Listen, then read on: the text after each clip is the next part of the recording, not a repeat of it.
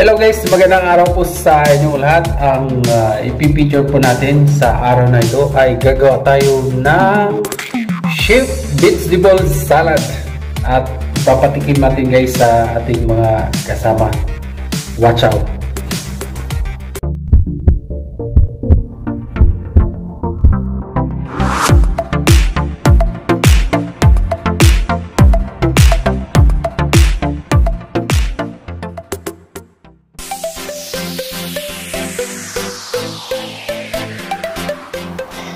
Hello guys, ang gagawin nating sheep uh, vegetable salad today ay para sa mga nagda-diet dyan. Ang una nating ingredients ay ang lettuce.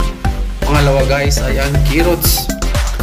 Pangatlo naman ay ang cucumber. At ang pang-apat guys ay ang green bell pepper.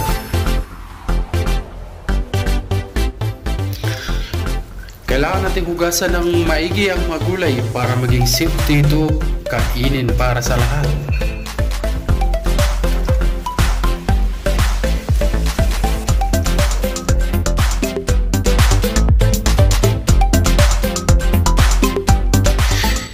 Ihandaan nyo rin ang paborito nyong salad dressing pagkatapos iwain ng mga gulay ayon sa inyong gusto.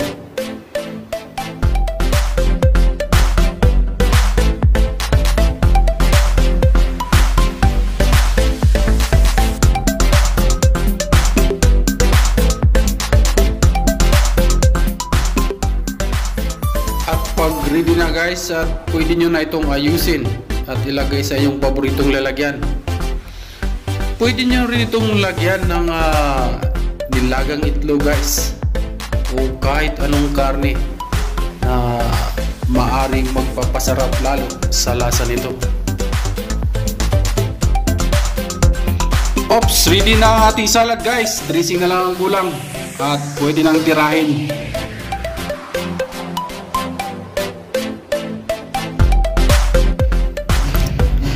Okay, ayusin na natin ito. Ilagay na natin ang uh, mahitog sa taas ng uh, paikot para mas uh, kaya itong tingnan guys bago natin tirahin.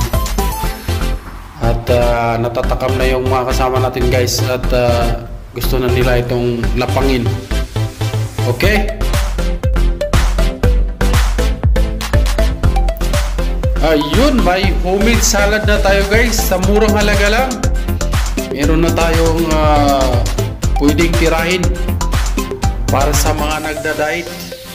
Hindi na kailang bumili pa sa labas. At uh, kaya na natin gawin ito. Okay?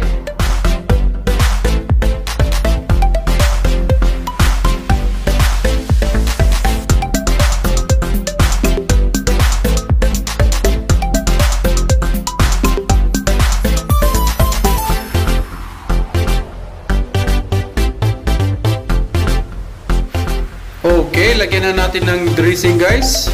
Mukhang masarap.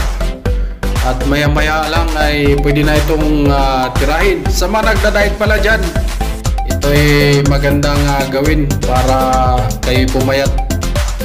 At uh, ito ay good for the health na salad guys. Kaya ito na, tirahin na natin.